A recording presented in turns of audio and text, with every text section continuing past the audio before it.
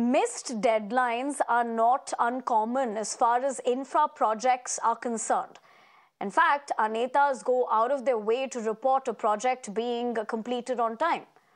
However, if time is money, what exactly is the loss of a citizen, both in terms of time and money, when a project is delayed?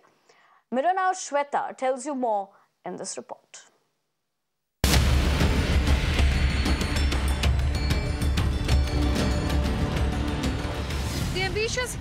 Of Bandra Versova Sea Link will be connecting to coastal road from Marine Lines to Kandivali. But the project is stuck in limbo as it started in the year 2017 and still not completed. It has left the commuters in frustration because of the multiple extended deadlines. Mega infra projects in India are usually plagued by two issues. First, they get mired in multiple issues before takeoff, and even once they do, they rarely are completed on time. One such mega project is the Bandra Versova Sea Link, an extension of the Bandra Worli Sea Link, which aims to connect large swaths of western suburbs to South Mumbai.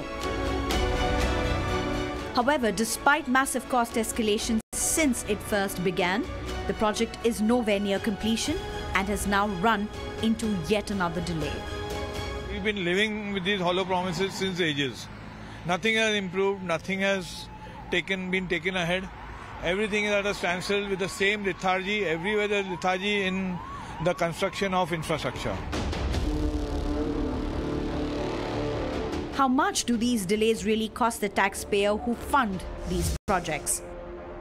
In case of this project, a whopping 140% more than the original estimated cost. The project is now estimated to cost over 18,000 crore rupees, while its original estimate was close to 7,500 crore rupees. And despite the surge in cost, the project is still only 17% complete. The project deadline has been extended to May 2028 from December 2026. The government, on its part, knows that with polls in the state barely a few months away, such delays are bound to impact its electoral prospects. But it is putting on a confident front, citing other projects.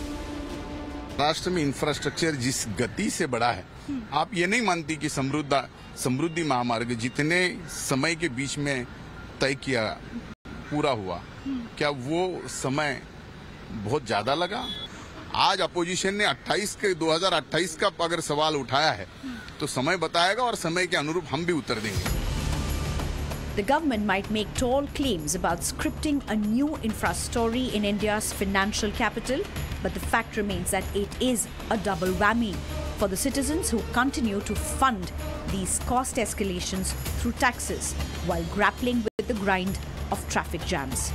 Traffic woes and the congestion uh, will not bring any relief to the commuters as the extended deadlines will go till 2028 as per the data which has been given by MSRDC. With video journalist Tushar, this is Shweta.